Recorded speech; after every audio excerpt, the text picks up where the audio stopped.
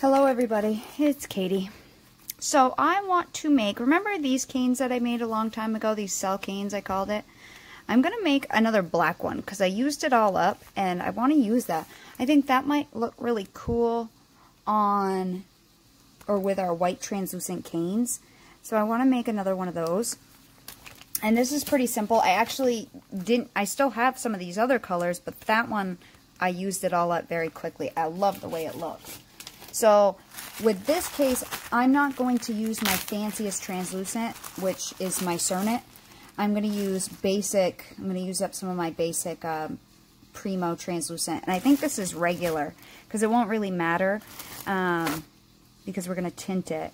And I have it chopped up in little pieces here because it was super, super crum crumbly. And I have a video showing you guys why I did that. And I added clay conditioner to it to get it to be a lot softer because before I couldn't even condition it. It's been sitting in this bag for like a year because I have a couple different bags. But I did them all together. Like I have white translucent, I have bags of regular translucent. Some of the Premo translucents are so crumbly. And I ordered them in the summertime, which I think they sat in my mailbox during the day and got too hot. So I hate ordering clay in the summer. If you think about it, in like the spring or the fall, get yourself some clay ordered. So pretty much I'm going to get this conditioned and rolled out, and then we're going to, uh, let me just get it to come together, and then get out some alcohol inks. I made this last time with alcohol inks in multiple different colors, um, so that's how I would do it again this time. And I don't quite remember what I did with how I made the black one. I assume I used black alcohol ink, but I did not put that color mix in the tutorial. Um, so we're going to wing it again and we're going to make the black. So I'm going to get this kind of rolled out into some sheets. And I might actually make more of it because I really like this one. I like the black and I find I used it a lot actually until I ran out of it. But I don't want to make too much because I don't like when my canes get really, really old.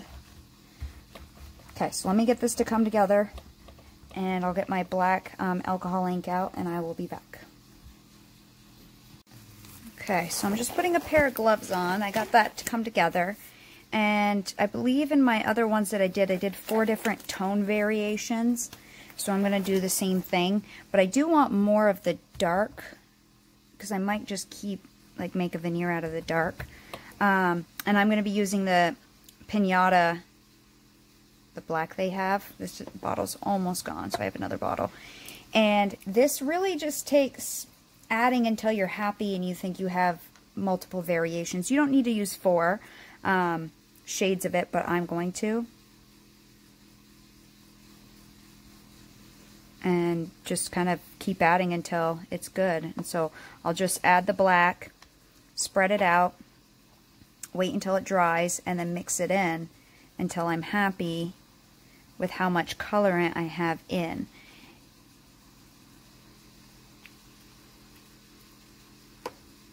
So I'm going to let this dry. And you can do this. I did this with green. I did it with purple.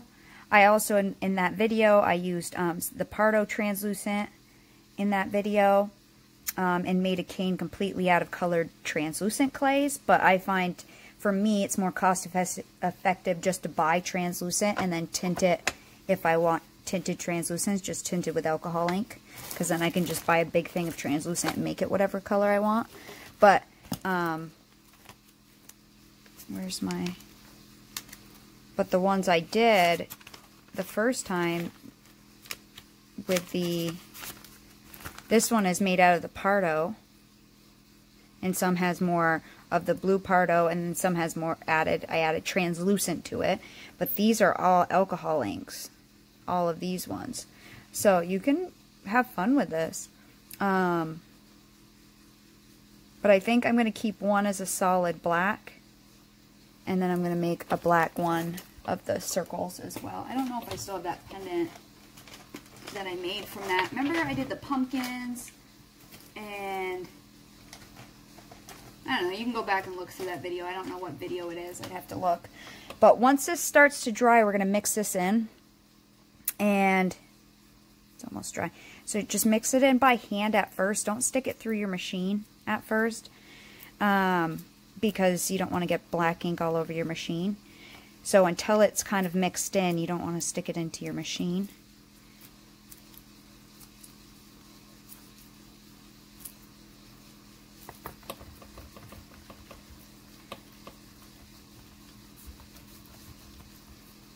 So just keep kind of mixing it together until it comes together. And again, this one I think I did one drop, two drop, three drops, four drops. So, you know, just try to get darker to lighter. And I will do a test bake on this as well. That's what I did the first time to make sure that color was where I wanted it before I did my whole batch. Because it's hard to tell until it's baked, which we'll see. So I'm going to mix these up. Once I get it so it's not like leaving ink marks on my tile, I'll run it through the pasta machine, which it's not really. So what I'll do is I'll run it through my pasta machine, and I'll keep running it through until I have a nice even mix. And I'll do that with all of these. So I tend to fold in thirds when I'm mixing a color. I fold the ends in, um, and then I put it in from the rollers. I put the fold, you know, on either side, and I put it in like this so we can squish the air out through the tops. And ultimately, you're ending up folding the ends in every time. And that way you condition the ends as well, and it's not just the middle clay getting conditioned.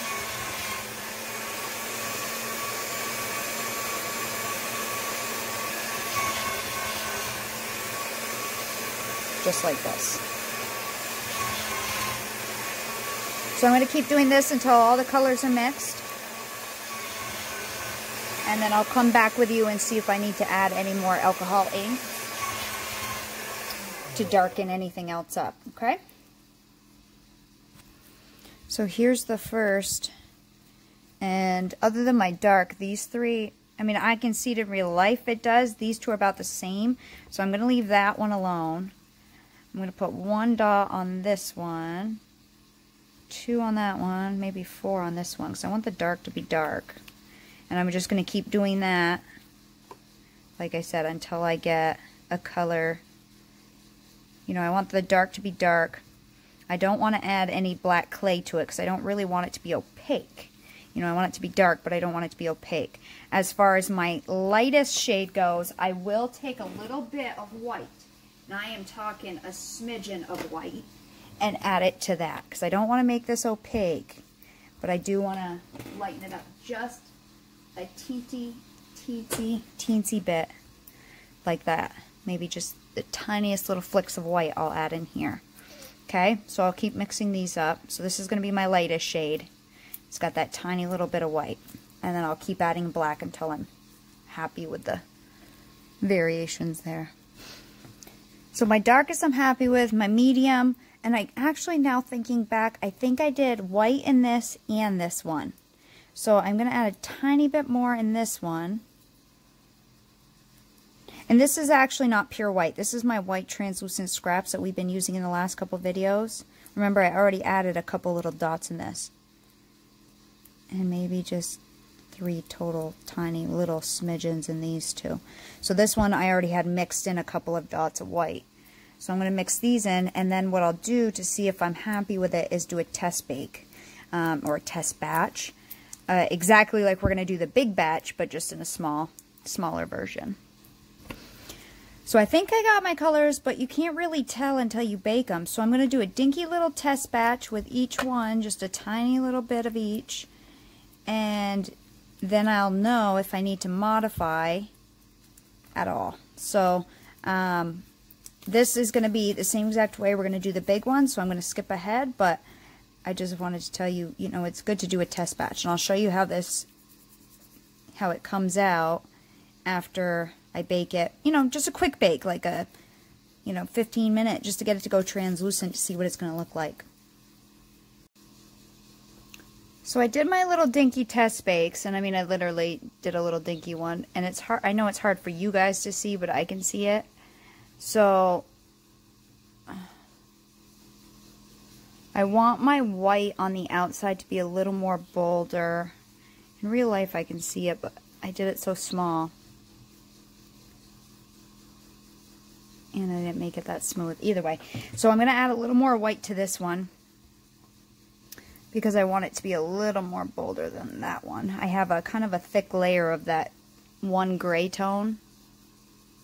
And I want a little bit more of a difference. See, it just looks like a gray outside of a with a black. I know, I should have made it a little bigger. Sorry, and it's not the thinnest. But either way, I know what I need to do. So I'm going to add a little bit more white into that. Maybe too much. Into that. And I'll mix this in. And then we're going to do a Skinner blend between all of these. So let me mix this up quick. So I pretty much just did a something like that and baked it, but gave me enough information for me. So let me mix this up. Okay, so that's my two lightest. So all we're going to do now is make a Skinner blend between these colors. And I'm just kind of trying to push all the air out. And I'm going to do a teardrop blend like I usually do, um, but you can blend it however you want, just by making it into a circle and angling your hands like you're doing the chopping motion. Make a teardrop. And we're going to blend these lightest to darkest. And I could do another test bake to see if I like it, but I think it's good enough until I'm happy. I hope that will be enough of a difference right there.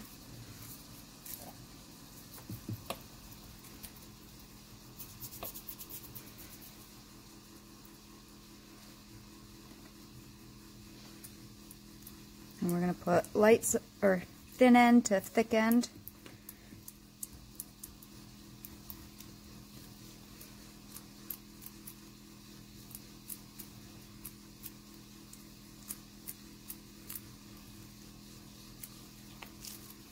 And again, I've already done this in a video. I think it's got the picture of the blue one and the, the green one in the uh, we call it a thumbnail photo, but of the photo of the tutorial. But I want to see what this looks like with our translucent canes, our translucent white flowers. We made one recently, and then we made one a long time ago, and I want to see how it looks.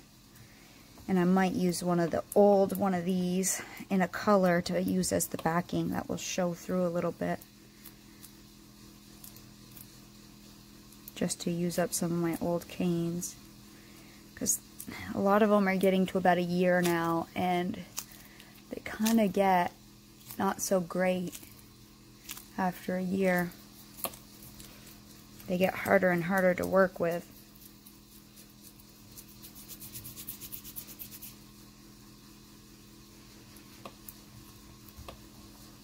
Okay, and then I'll just roll them out by hand gently just to get them going because they're too big to fit my pasta machine right now.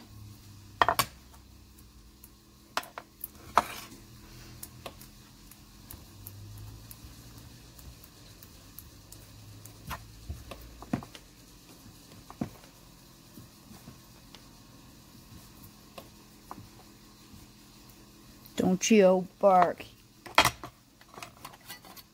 My dog doing a little woof. Little air bubble there. diesel.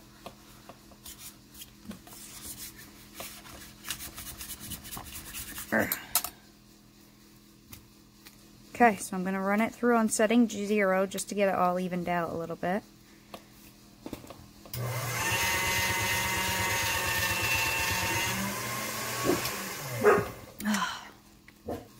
Okay, and what I always say is keep your colors vertically away from you, not horizontal, right? Vertical and then fold up.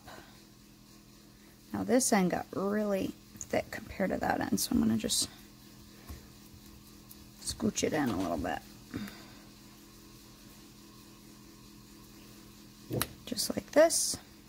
And then we'll keep blending it. Fold goes in first, and that way all four of our tones are touching the rollers first, and all the air gets pushed out the top through the fold. And I literally, I just put this through like four or five times. It does not need to be a perfect blend because we had four very similar tones already.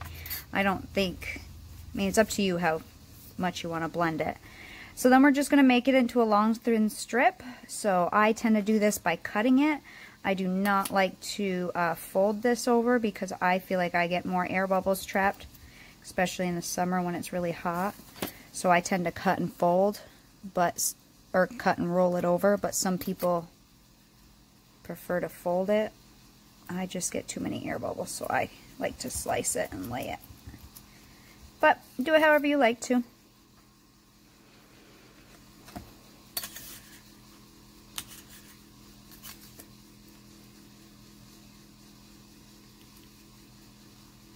Usually I don't pick it up so I don't move it, but and then this last little part I will fold it over. And we're going to thin it out some because our pasta machine won't want to take that big thick strip. So I'm going to kind of pull it out with my hands to thin it out. You could run it with your roller too. But this is really stiff clay. So I'm going to start to, I'm just going to keep warming it with my hands. And then we're going to run it through a machine on down to the thinnest setting you can get it. And again, that depends on one, how sticky your clay is, two, what time of year, uh, what time of year it is, if it's winter versus summer. Um, so however thin you want to get it, and we're going to roll this, make a jelly roll, or a, a blended roll, I should say. A jelly roll would be if we actually backed it with another color. A blended roll is just blending one blend into a roll. Come on, roller. Okay, so I'm going to start on setting zero and work down to my thinnest setting I feel comfortable going with before it starts to get too sticky. Okay. And I know you can't quite see dark to light, but I can. I know this is a hard, a hard one to see, but it definitely is going from dark to light. So I only took it down to a 4 today. Um, the thinner you go, the smoother of a blend you'll get in your roll. But I don't really want to go much more than this. It's pretty humid here today. So, not that the clay itself is sticky, it is a different texture when you add alcohol ink to it. And I'm going to begin rolling from the dark side to the light side. I want the light on the outside, dark in the middle. But that's, again, a decision you'll have to make if you want to make one of these. Oh, see it's sticking to my table. It's just different textured. See it stuck to my table right there?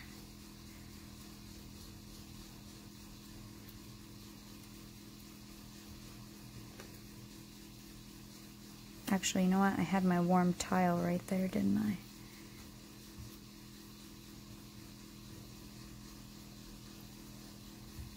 So now we have a blended roll. I have a little white on my hands. And then we're just going to reduce this down into multiple sizes. That's a little sanding dust. So we'll go down, you know, any kind of sizes you want. My initial in inspiration for this a long time ago was um, the cells that are created when people does do the uh, pour paintings, the acrylic pours.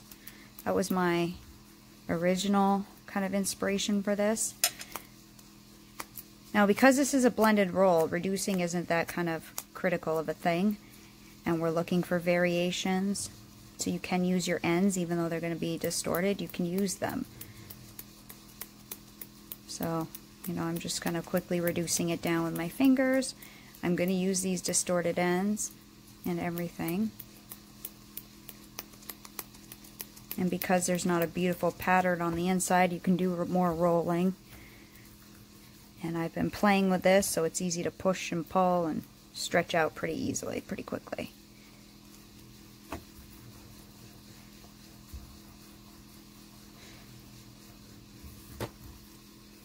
And then we'll start I don't know how big I want each cell though. I'm going to start with my largest size and then cut a hunk off and then work my way down. Might just cut a little bit of this end off. You see that? So I'm going to cut, oop, hang on, my phone's going to die. I gotta plug it in. So I'm going to cut a hunk of this off. This will be my largest size.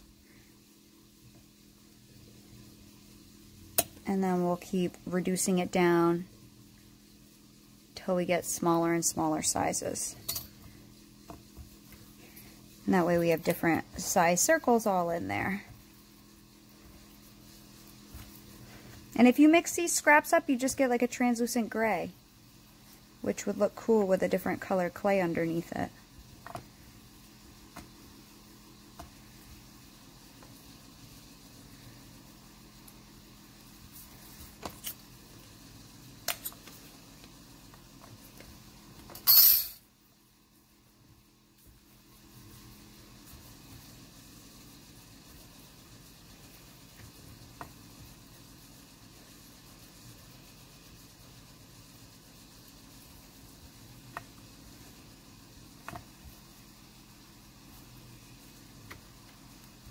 Go get one of those pendants just in case you guys have never seen what this is going to look like. I'll go grab one of my old pendants when I go upstairs. Let's start putting those together and then I can decide what size I need. So we're going to cut these into lengths, um, however long you want to make this. I'd probably do closer to one inch is usually where I go.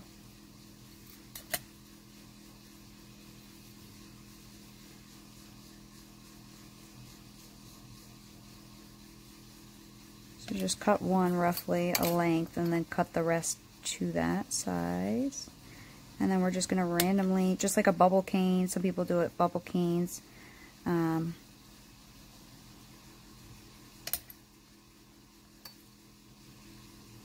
some people said the blue one looked like some kind of faux stone, the blue one I did in the other video. And don't worry about these little pieces because you can take this little piece and reduce this down into the same length. So, you know, use all your pieces. Just make it a smaller diameter. And we can use that one.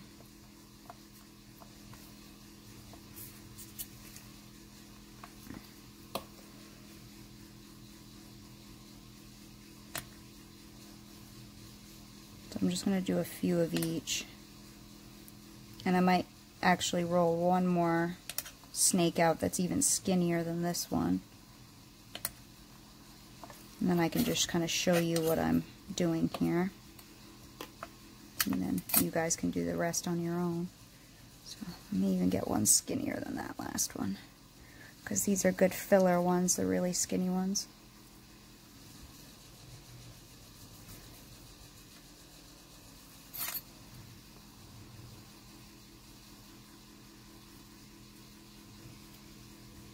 Blade is so old, I can't even see the edge anymore. I've sharpened it. This is the first blade I ever got, so it's probably close to two years old now.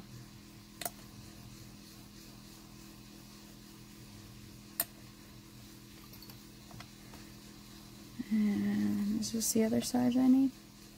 Yep. Let me cut a few here.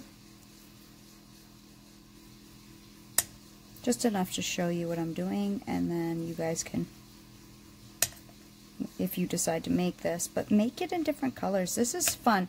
This is a good veneer clay for layering stuff on top of. Okay so then you're just going to take your different sizes and literally set them all together. Nothing fancy about this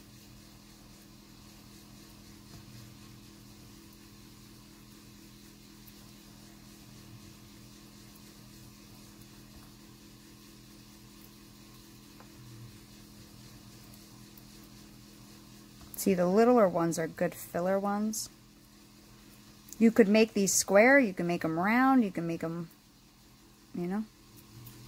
let them just go, which is what I'm going to do. I'm just going to let them kind of do their thing and go however they change shape is what I want them to do. When I squish it all and reduce it all together, I just kind of want it to do its own thing and take its own shape.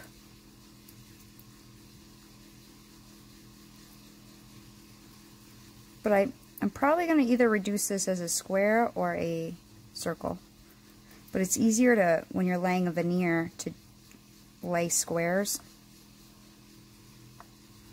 I'm going to cut some more shapes, but that's all we're doing is just sticking them together, okay? So we got it all put together. I'm just going to kind of smash, smoosh the ends and then we're going to reduce this.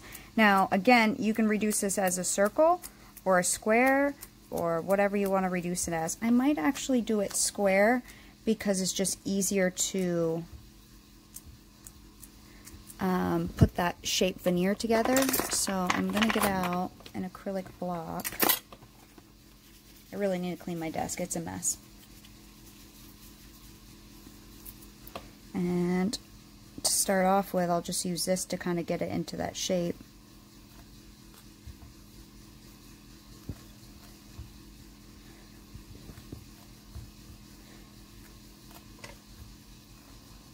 And again, these are going to kind of freeform,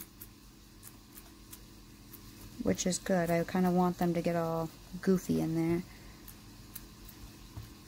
And however big you or small you want to make this, you could make it nice and small, cut it, stack it, you know, put it together and stack it to make your mo more bubbles, I guess, or cells.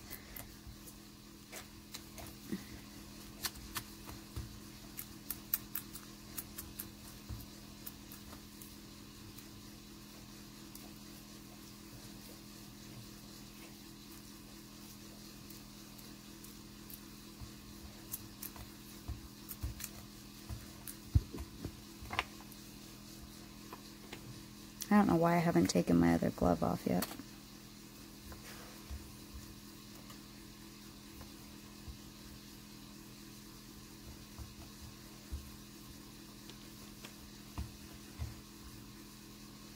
So like I said, I really want to use my translucent flowers on top of this. Now, I was thinking one side I might do this. One side I might just take those scraps I'm going to let this rest. I'm not going to cut it now. I'm just going to let it rest. I think I might take these scraps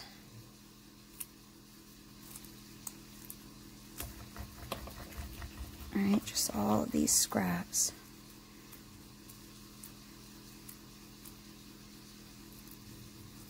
I think this I might lay on the side with my flowers run this through.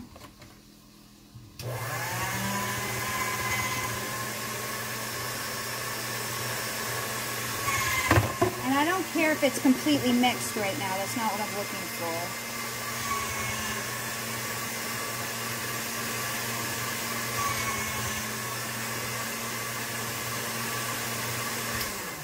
I mean, it can be completely mixed, but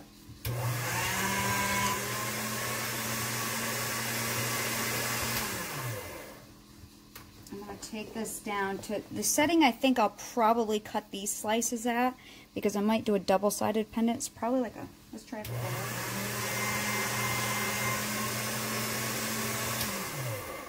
Hmm, I usually can cut a little thinner. I'm not going to use my clay slicer, but maybe a five.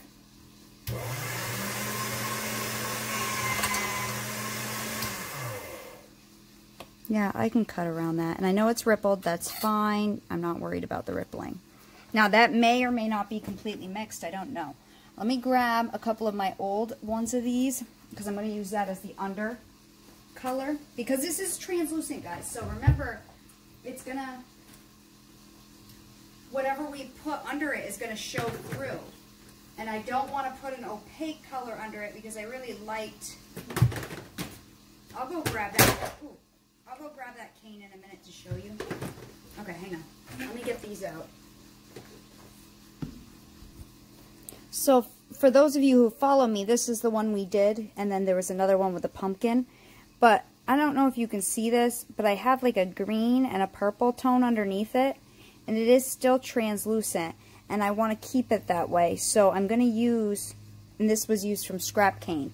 So in my box here, and I actually did have a black one left. I did have a black one left. So I might use that and let this one rest.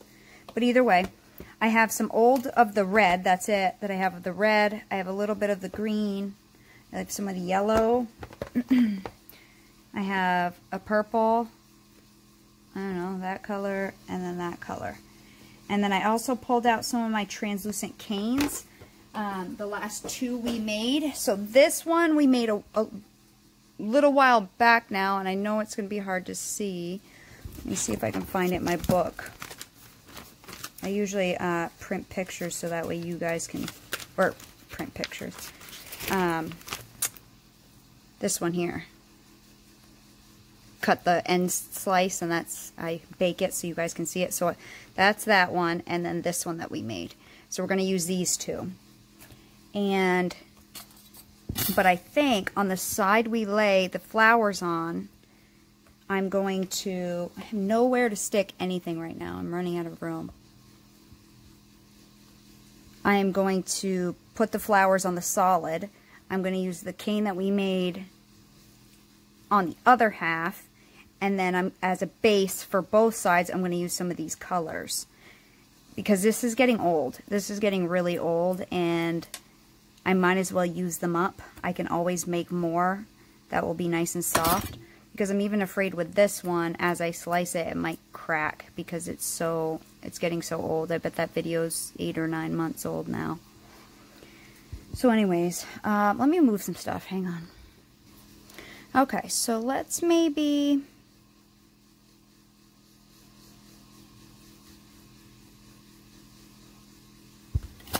Let's just break some of this down. I'm not going to leave it bubbled. I mean, I could use this underneath. I'm just going to use it as a base clay because it's still mainly translucent clay. And I want the pendant to stay fairly translucent to let the light through. So, these were really cool canes. I really like these. I just don't use them often. The black one I used a lot of, but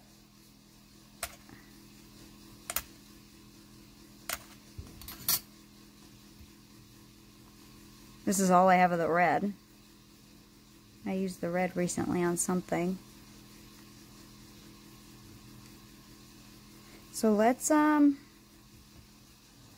pretty much I just want to make like a veneer to stick everything onto.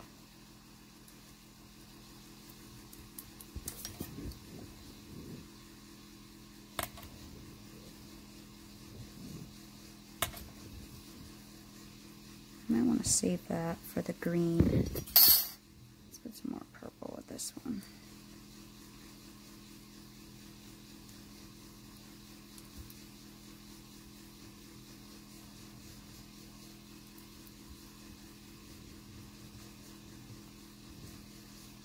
Guys, it really doesn't. I'm just literally throwing it together. I have no rhyme or reason for doing what I'm doing right now. I'm just going to give myself a swirled base to lay all the clay on. And that way you'll get some kind of hint of purple from underneath, or red, depending. I already have a purple cut, so let's use that. No rhyme or reason. Because literally on this other one, and the one I wear is even, it shows up better. Um, this was just the scraps that I just laid it on. So that's all I'm going to do is just use this clay up. I was going to sell some of my canes because I have stacks and stacks of these containers with a whole bunch of canes inside.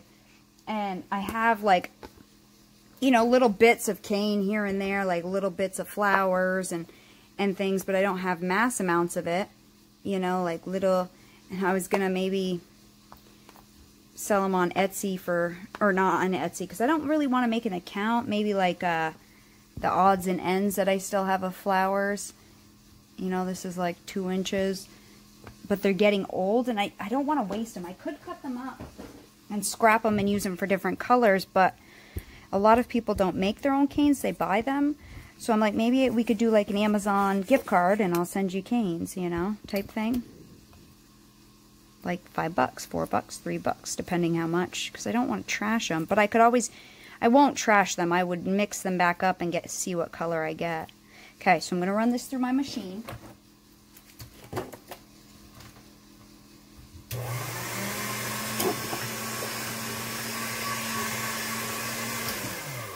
And I'm probably going to, do I want to marble it maybe?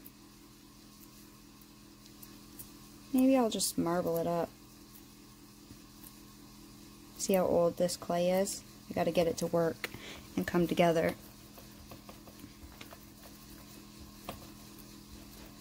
Okay, let me run that through the machine again.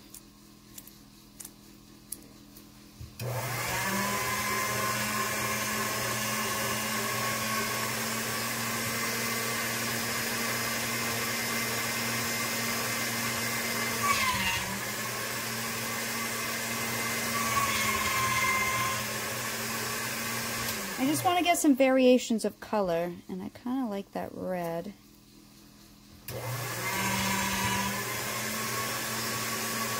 But I also have to get, get it conditioned well enough so it might end up making a solid color.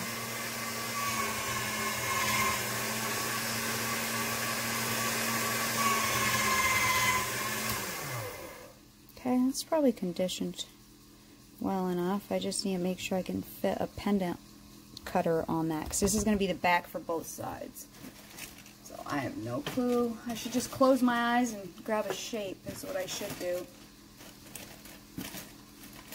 I'm like always like, what size cutter have I not used recently?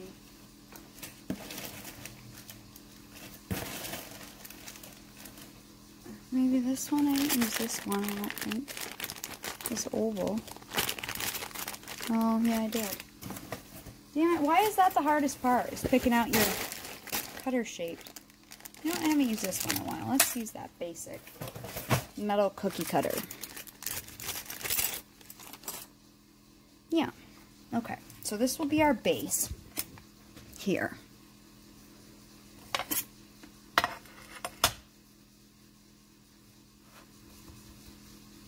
And that way everything from the black will show through on this.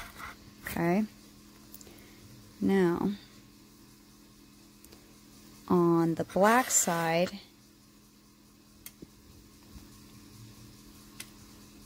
we're going to lay down, actually,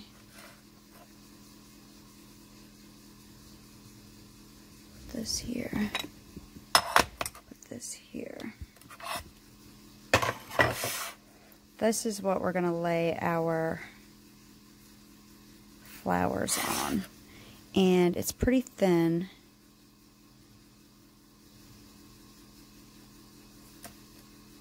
right now, but I'm just going to score it just so, so I can see. And I'm not going to use my Lucy clay slicer. I mean, I totally could, but this is going to be less of a precise thing. So I'm just going to get a new blade out. And literally on our translucent flowers, just slice and place.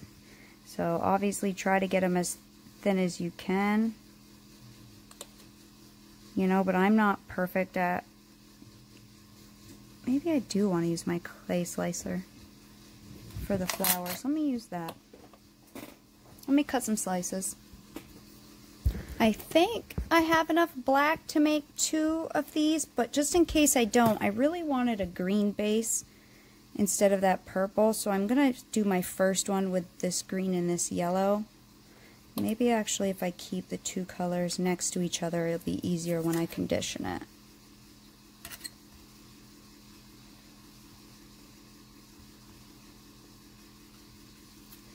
If I do three yellows.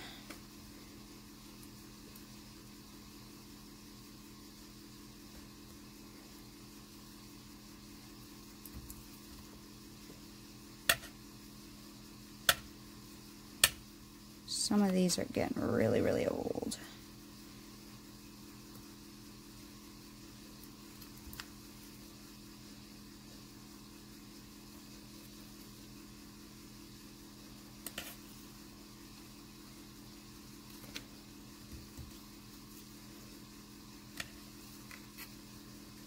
and I just want to use it up so I might as well use it as a color so I'm gonna mix this one up just like we did that purple and red one um, and I want to use this first because I just do. Because I prefer the green over the purple, but let me mix this up in my machine.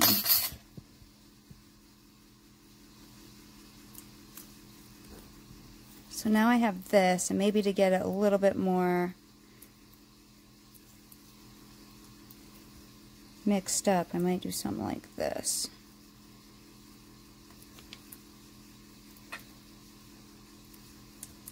That way it's not just a strip of yellow down the middle. Because when the yellow and green mix, they're getting a pretty um, lime green. And then I'll run that through one more time. Nothing really scientific. I'm literally just playing.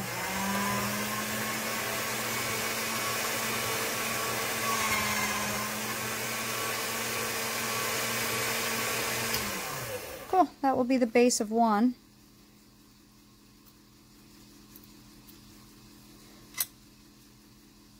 Yep. Okay. So there's another base. Okay, and now I have enough of the cane slices, I believe, cut. And I just did one full turn on my Lucy clay slicer. So all we'll do is just lay these guys on. And I kind of, as you saw, just quickly marked out with my cutter, roughly,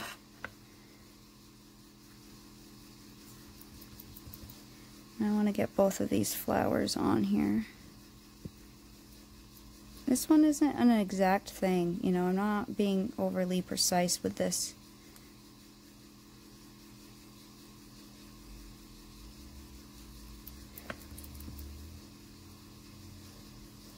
It's just not what I'm going for, you know? I don't like to be too critical on myself. I just, with clay, for some reason, I just, that's my wind down time. That's why I have a full-time job. This is not my full-time job. I'm not going to sit here and edit videos. I know people want me to edit my talking out or edit this out or edit that out. I'm not going to sit here for hours to edit. You know, it already takes me about an hour to edit and then three or four hours to upload. Like, sorry, this is not my full thing and I don't want to make it a full-time job. You know, not everybody will love my videos and that's fine not everybody will and I'm okay with that. You you know, you're not paying for them, so all you need to do is just not watch. Just or fast forward or speed it up or just yeah, not watch. Don't need to I'm not forcing you to watch my videos by any means. You guys if people don't like them. I hate when people comment. I'm like it's freaking free. Like why are you complaining? Just if you don't like it, don't watch it. Just fast forward. So now I'm going to push straight down. And I worry because this base is quite thin. That black, I had it quite thin. So I should have put it on parchment before I've done this. Let me see if I can pick it up right now. Use my old blade. Because that black is sticky, sticky, sticky. Okay, let me get it on the parchment so that way I don't risk sticking.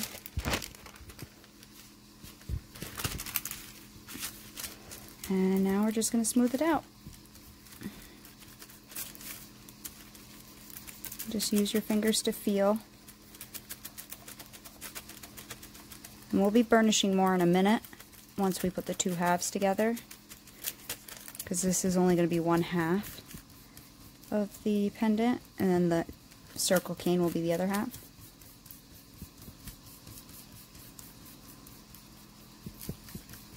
I wanted to try to find something to put these translucents on where they actually like popped, you know.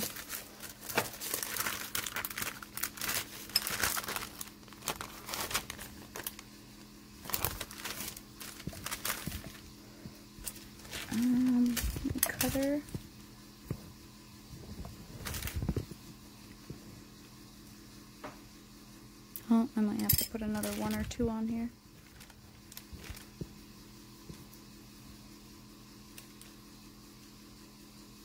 There's one that got a little messed up.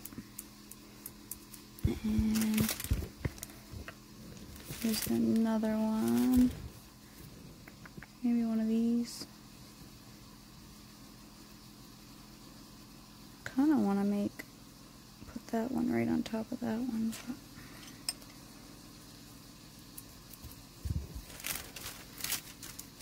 And I know on camera it doesn't look like I get black fuzzies in my translucent white clay. I do. You get dust and fuzzies in your clay every single time. But the black is going to be showing up, so hopefully showing through all this translucent.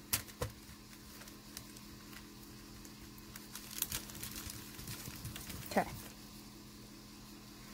So then this part should be good. So we can cut a piece out of this.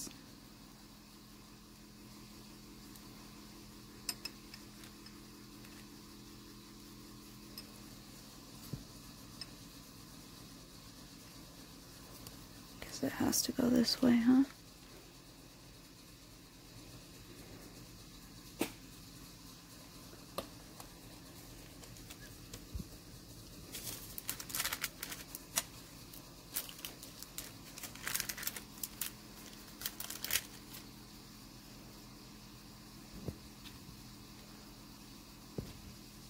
keep this because I might try to make a second one out of this if I can. These scraps I'll probably try to swirl up into a lentil and see what I get.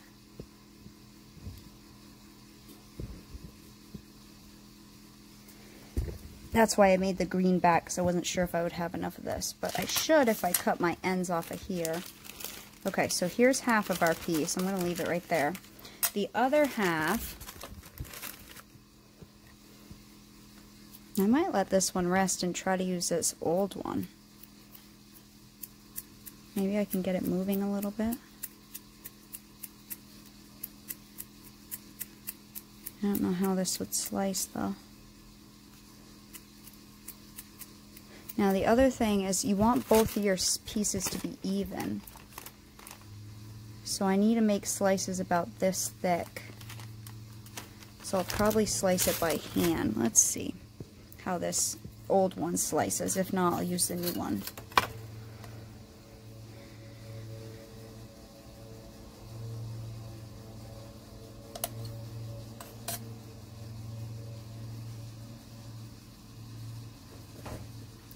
It's going to crackle too much.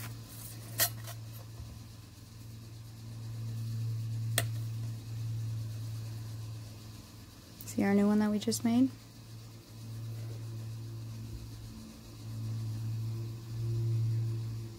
Oh, it's so sticky.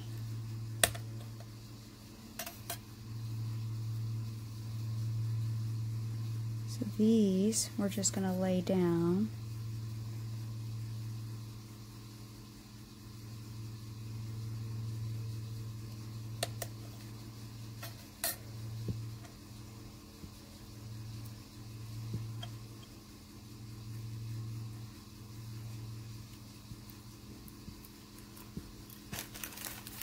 Now, if I was smart,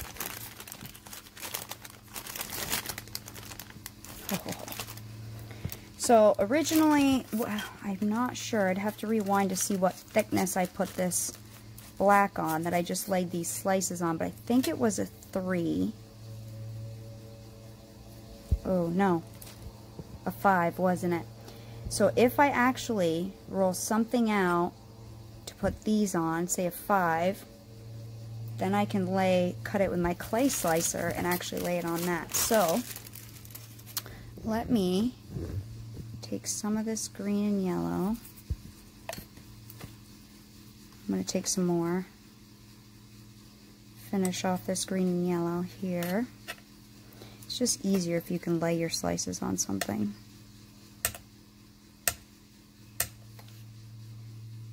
I'm thinking as I go, guys. Going to do the same thing I just did with this.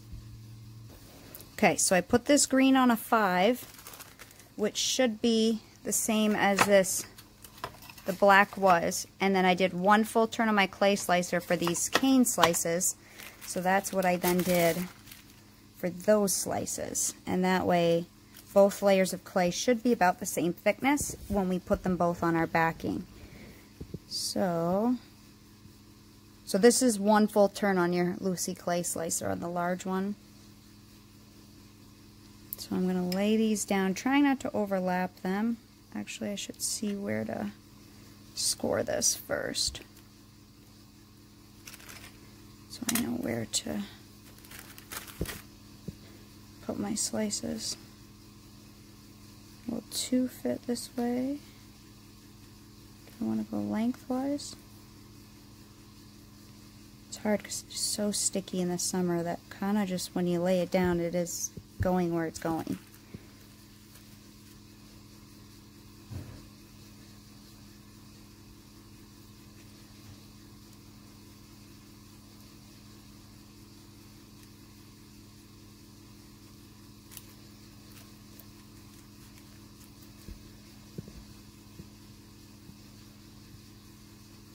And the only hard part is these ends I didn't cut square. It would have been easier if I would have flattened these ends off and cut them square.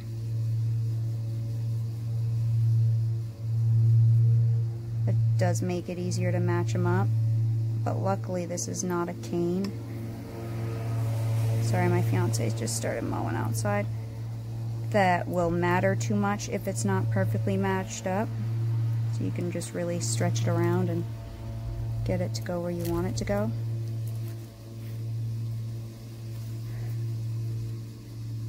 As long as it's all covering your base. Yes, again, I would have been smarter if I would have cut these all to a very square end, but I did not.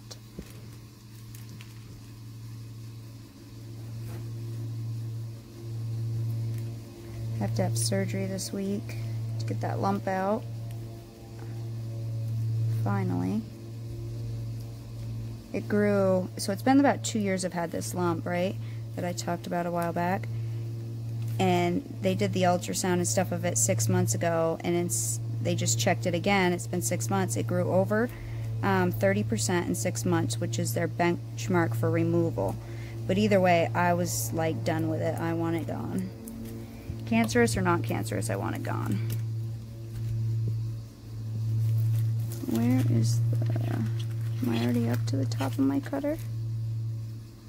Yep, I'm already up to the top. So then what I'm going to do with bad slices is fill in any of these little holes right here. I'm going to fill in the middle one and a little bit right here. Okay, and then we'll burnish this guy down. And we're going to do more burnishing in a minute, but for now...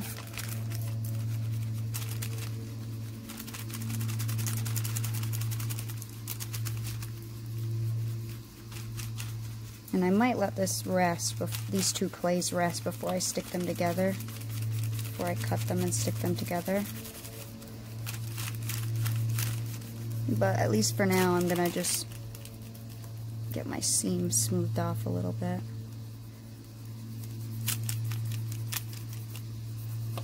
Again, we're going to be doing this in a minute again, so once we cut both our, our halves.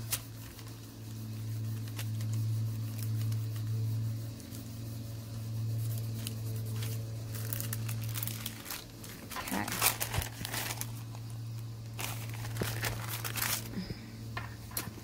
And let me pick this one up. Actually, let me cut it out. Let me see if I can even pick it up.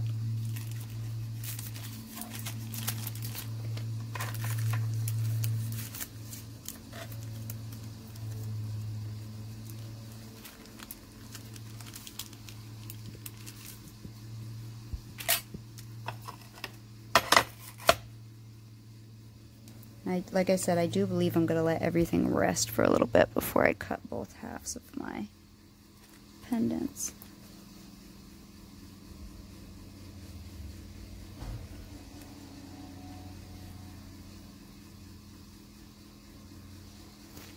And we'll burnish it off more after to get rid of our seams all the way once we put the two halves together. And then all these scraps I'm going to play with too. I'll probably lentil them up because I have this green scrap here with the black. And I also have these black ones as well. So I think I'll probably swirl it up and bake it off as a bead. See what it looks like. Okay, I'm going to let everything rest, and then when that's done resting, I'll come back and we'll cut our two halves and put it together and see what it looks like. You choking over there? Okay, let's try to finish these off.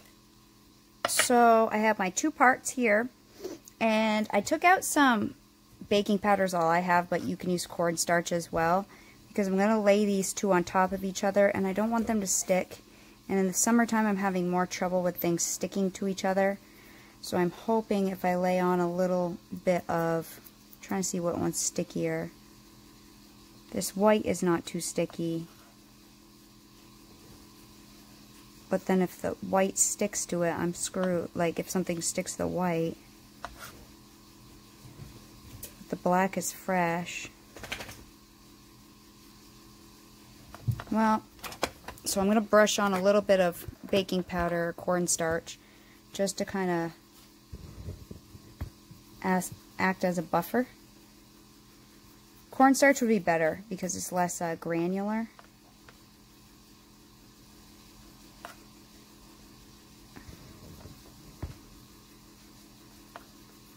Even like some, oh, I don't know how baby powder would work, actually. Scratch that. I don't know if it's polymer clay compatible or not. Okay, so then I'm going to decide where I'm going to cut this right now. What I realized is these little slices, I was cutting the scrap end on this one too. On the little flower, it's the not so good end. oh well. Is what it is, right? So pretty much we're going to lay it down and quickly cut and then remove it.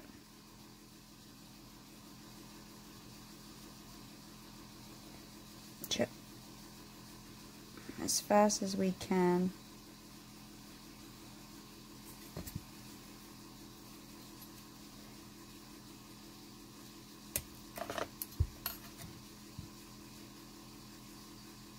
two. And we'll set these together. Hopefully they're the right thickness.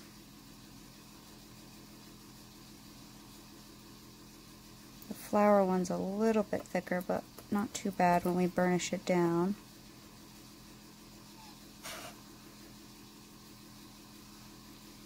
Oh, it is S-U-P-P-E-R time.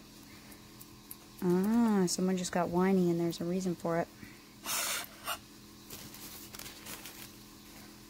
Then we'll burnish these together a little bit, and then we're going to put them on our backing.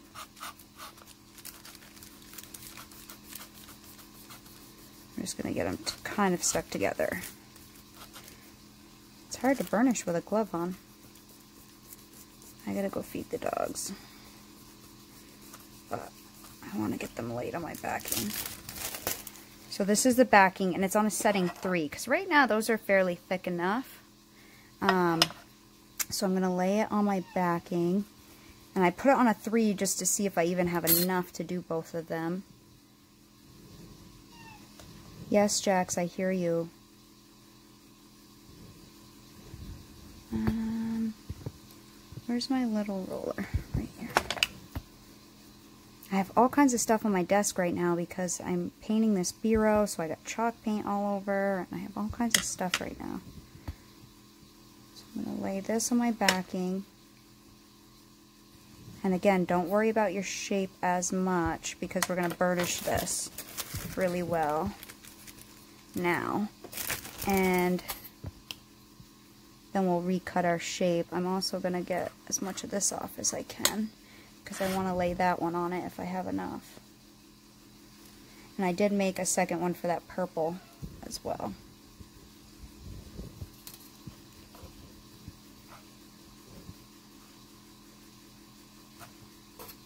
I think I might have enough of this to do one more to lay on this other one if I cut the rest of this yellow up. But you can lay it on whatever you want. I'm just using these canes up. Because they're getting old and crackly. That should be enough. And then with that thickness and that thickness, it should be thick enough. So I'm going to run this through on a 4 as well and lay that one on.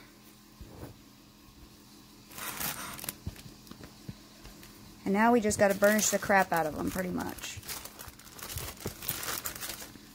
To get everything nice and smooth, to get it stretched out a little bit so that way we can put our or we can cut them out get our shapes good. And again, if your seams never look pretty, you can always use a cane to put over your seam if you're never happy with your seams. You can always use um, that nail tape we just used not that long ago. There's all kinds of things you can do to cover a seam. But if you burnish with your seam first and then go out from there, usually they go pretty well. But really you just want to get everything really stuck down to your base clay and everything really smoothed. And I want to move this away from the edge. And so now it's just about burnishing pretty much. Big enough so where you can recut out your shape. Which it usually doesn't need much. But I really want to make sure this black is all the seams are gone. But because we have a half and half pendant, you won't have the seams from the square. This other one I did, I cut the black like I said we should have. Instead of having like an oval rectangle to put together, I cut the ends flat first and then I put it together.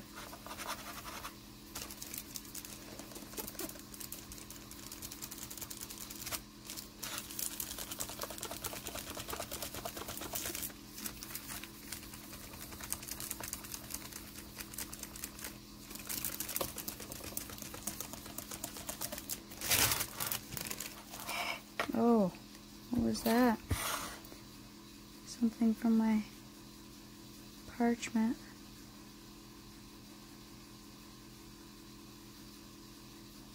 Stuck on there.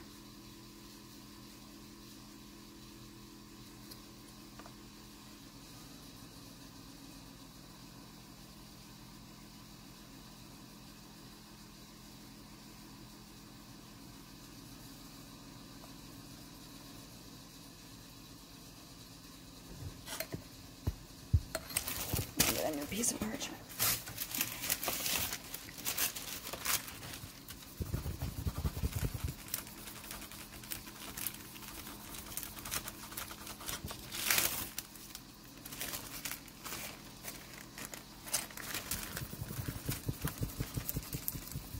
I'm going to do the same thing with that purpley one. Now we'll recut out these shapes. And these guys should be good for the oven.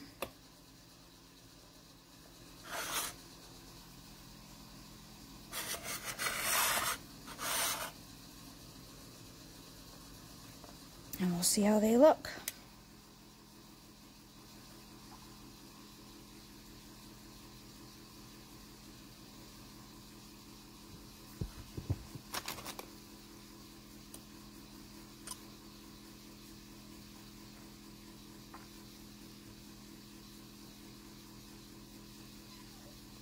metal cutters get such a nice clean edge, but you always have this seam right here where the cutter is you know, where they join the cutter right here.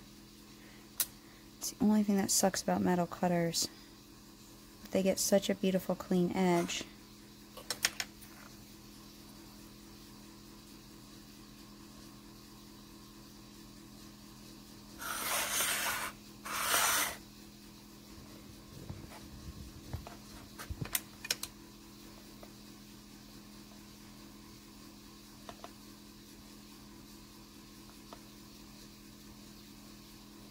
I'm going to get these ones in the oven. The other ones I'm going to do in a second, but the same way, just with this purple. Because you hear my, can you hear him? Oh, I'm starving. Even though I had some french fries earlier.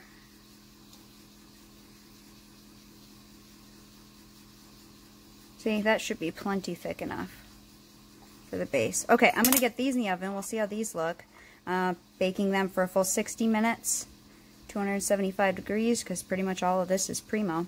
Except for the Cernit translucent, but oh well, 275. With a piece, I just lay a piece of parchment over it like that. So here are my purple ones.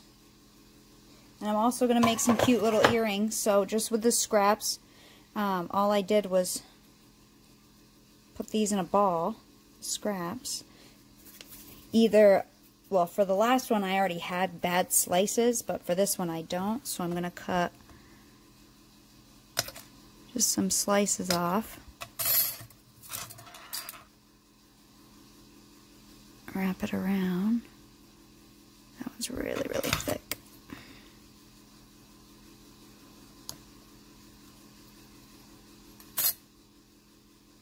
I'm going to save that one actually. That one's still really thick.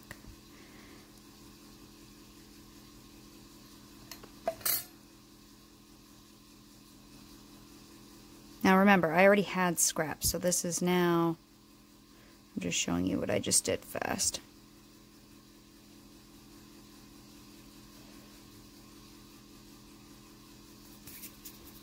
I didn't swirl it or anything. And then I flattened it out. And then it is going to get kind of thin, so I'll show you what I will do. Either you can leave it the way it is, or I rolled it through on setting zero. And you can leave it like that. Let me roll this out.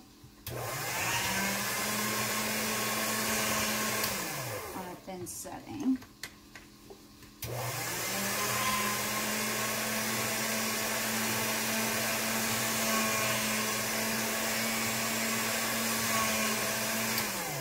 Because that's what I just did with this, and I actually liked the way it looked.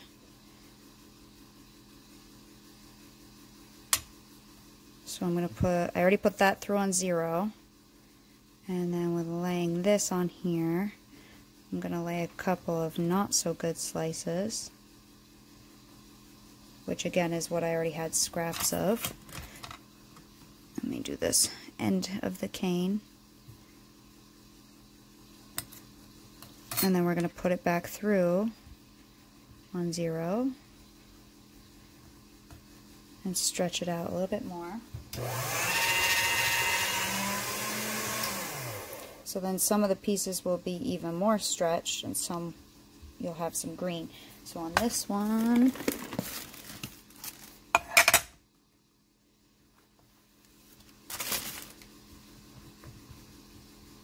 let's see. I don't have many earring size cutters. I really need to get some more because I can't wear earrings at work really, especially right now with COVID and my helmet that I have to wear that I showed you guys on my Facebook page. I have to wear this helmet every day.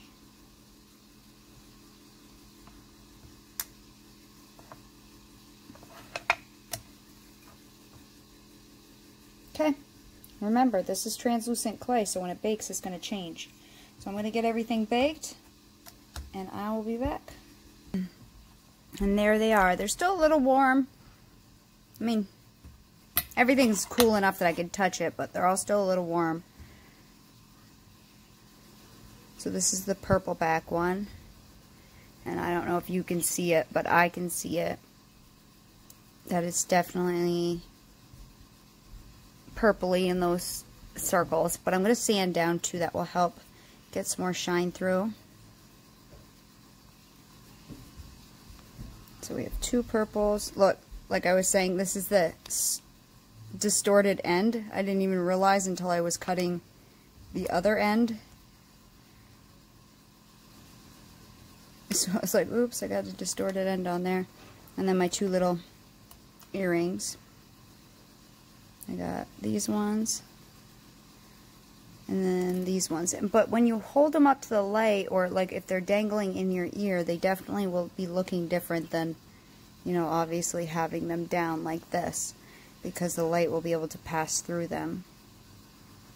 I don't know if I'm going to hang these this way.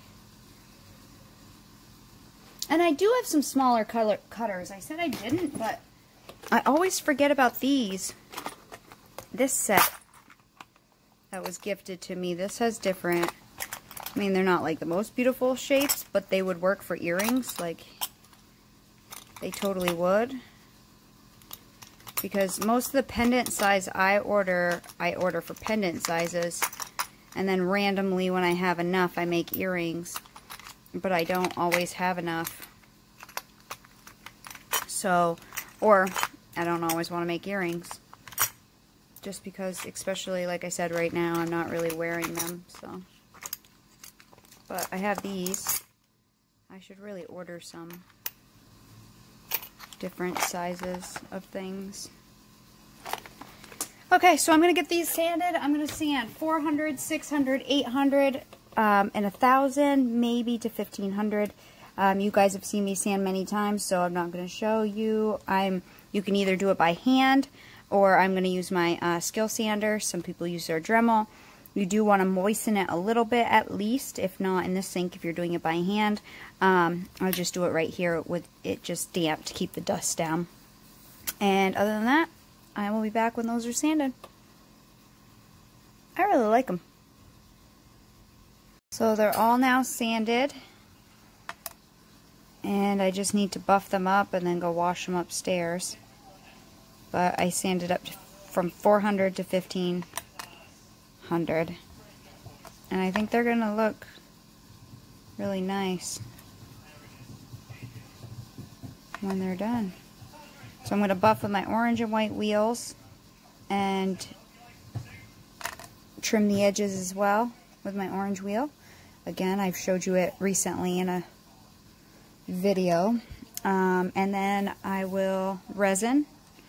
I don't know if I'm going to resin the earrings or not. I don't tend to spray perfume on my head, so um, but hairspray would affect the finish of it. So I don't know. I may just um, leave them as they are. I guess I'll have to decide that soon enough.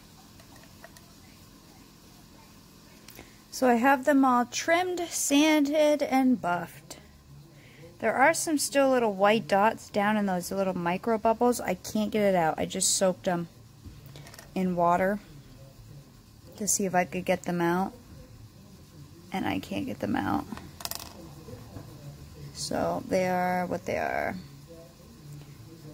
I guess I'll pick the best one because I don't need to wear two. I'll pick the best one. Actually, I think I like this one the best.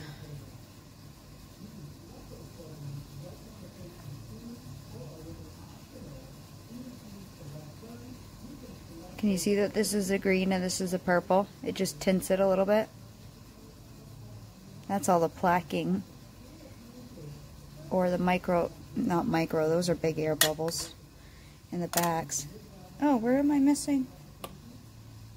I'm missing the green ones. Where the hell did those just go? I must have dropped them on my way downstairs. But either way, all I have to do is resin them now, and then they are completely done. So pretty much other than drilling holes, they are done. And I know the camera isn't picking it up very well, but in real life, the black looks better than that. Um, oh, there you go. That's how it looks in real life. Like, you could actually see. I don't know why it's reflecting so well. Which isn't a bad thing, it's just the camera's not picking it up as well. Kind of weird. There we go. Kind of. Maybe I need to brighten it. There you go. Ah, ta-da. Okay, so there's the purple one with the purple back. And they're resined. And then here is the one with the green back. Here.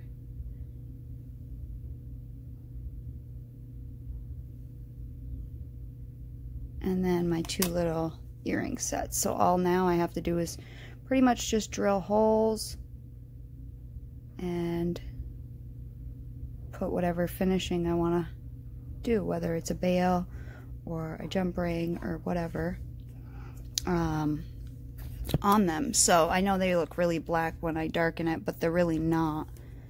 They're really not at all. They look really cool actually. So that's pretty much finished. Um, and oh, so you remember how I had all those dots? I don't know where I put them. Um, from the sanding marks. Oh yeah, let me grab one.